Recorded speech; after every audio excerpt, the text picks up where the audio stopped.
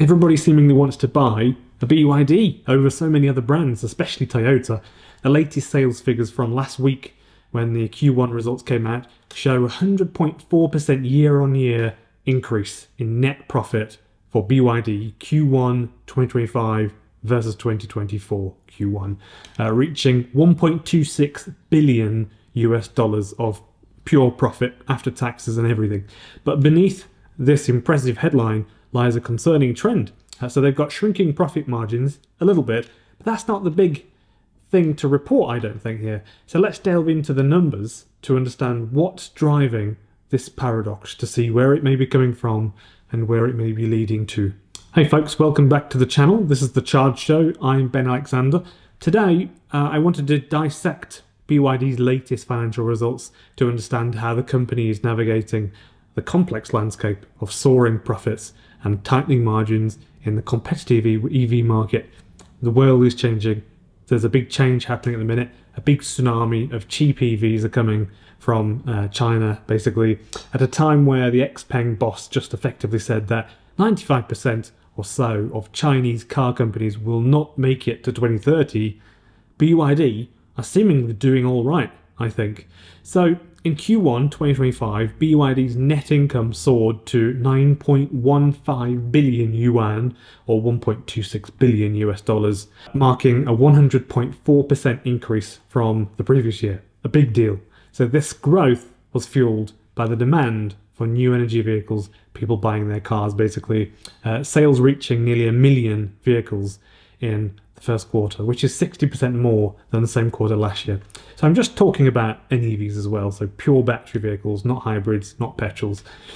Uh, so BYD's revenue for the quarter rose 36% year over year to about 23.3 billion US dollars. Despite the profit margins increasing, BYD's gross profit uh, margin declined to 20.07% per vehicle, down from 21.88% in Q1 2024 last year. So it's down.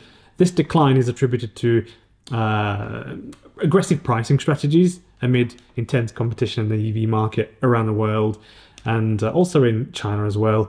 In comparison, Tesla's gross margin stood at 18%, so they still make more than Tesla per vehicle, even though they spend a lot more on R&D, which I'll get into in a minute. This is fascinating. So BYD's average profit per vehicle stands at approximately $1,250 per vehicle, significantly lower than Tesla's, which is $8,250 of profit per vehicle for the first quarter of this year in 2025. This indicates that BYD's focus on market share expansion over per unit profitability. This is obvious because they're actually setting up new plants to build cars in uh, Hungary, Turkey, Brazil, Indonesia, Cambodia, Thailand, and I think there's another one I've forgotten. And those are combined going to produce about a million vehicles a year in about three years' time. So that tells us that in today's money, a quarter of all BYD sales will come from outside of China in 2028. Although that would be a misrepresentation of the truth, it does give us a rough idea of what's going on and it helps us, helps us quantify this a little bit. BYD's annual revenue in 2024 reached 107 billion US dollars, surpassing Tesla's 97.7 billion US dollars. Uh, the company sold 4.27 million vehicles globally in 2024, a 41% increase from the previous year. Uh, and also BYD's aiming to boost exports to 800,000 vehicles in 2025, doubling its overseas sales from the previous year. Uh, when you combine that figure with vehicles that are built outside of China to facilitate the market outside of China, that adds up to a lot. You can see that they will be getting some purchase on the global EV market, even more so once they put these factories on online, basically in a few years' time. So this, for me, is the standout point that I wanted to make. In 2024, BYD spent $7.5 billion in R&D in like one year alone, $7.5 billion, which is 36% more than the year before. Uh, and it was focusing on things like God, the God's Eye autonomous system. When you compare that to Tesla's uh, money that they spent, which was $4.5 billion in the same year, uh, that doesn't look so good for Tesla, does it? uh, because they don't have anything like the God's Eye autonomous driving uh, system. If you look at Tesla's total spent in the last five years, $15.6 billion spent on R&D in 2020 compared with BYD's $25.5 billion in five years. So BYD's new Super E platform allows for up to uh, 1000 kilowatt charging, which enables 400 kilometers of range to be pumped into a battery basically in five minutes or so. This alone cost $2.5 billion to develop, according to the boss, Wang Chuanfu.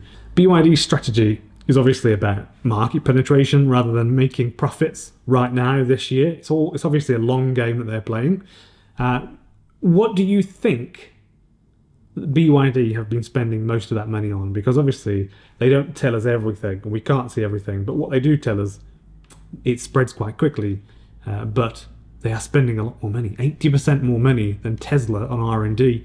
Where do you think that's going? Because uh, I've got a few ideas. I will not say that, but I'll put the best, I'll pin the best comment uh, with the best ideas, I think, um, if you comment.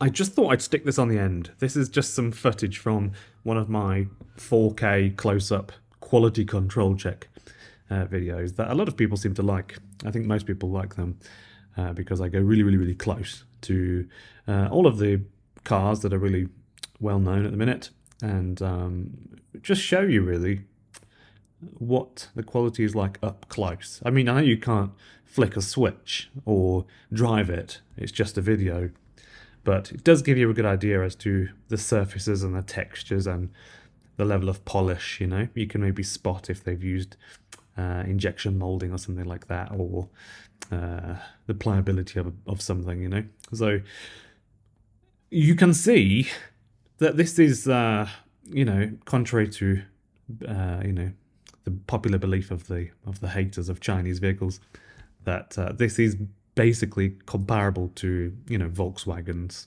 uh, Toyotas, that sort of stuff. They really are.